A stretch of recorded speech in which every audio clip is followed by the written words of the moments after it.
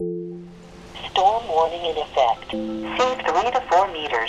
Building to 5 to 7 early this afternoon. This part of the coastline, it's really remote in the winter. You don't see a lot of people out here, so it might surprise people to know there's a research station that's populating this place all winter long.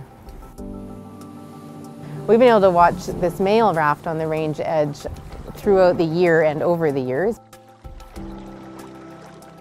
On a typical morning when we listen to the weather radio, it starts off with a storm warning.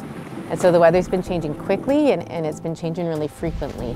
And so that's made it difficult to get out, but at the, at the same time, that's, that's the point. The weather's got to be bad enough that the sea otters can't be out.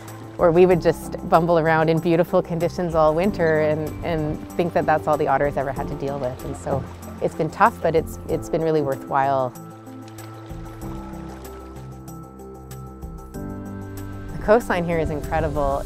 It's a really beautiful coastline and it's totally variable and I, I think that's what makes it such great habitat for sea otters. They can, they can access all sorts of different environments and they're all just a stone's throw from one another.